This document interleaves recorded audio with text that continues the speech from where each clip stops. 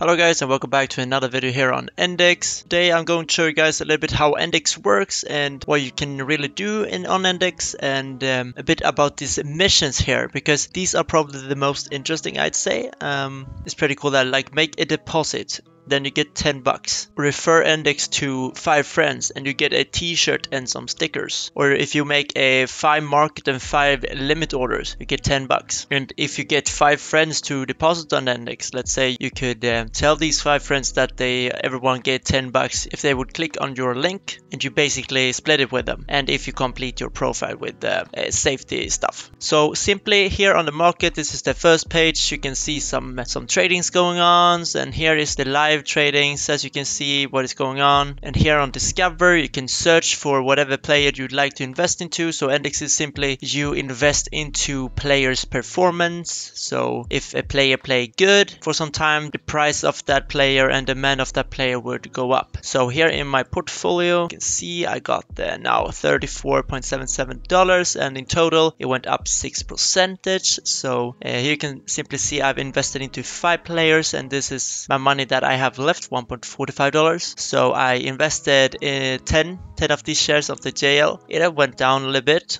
but uh, as you can see, I invested $10.70 and it's now 10 $10.50. And this one, nothing really happened with sh1ro. And the lucky one is uh, pretty much the best one.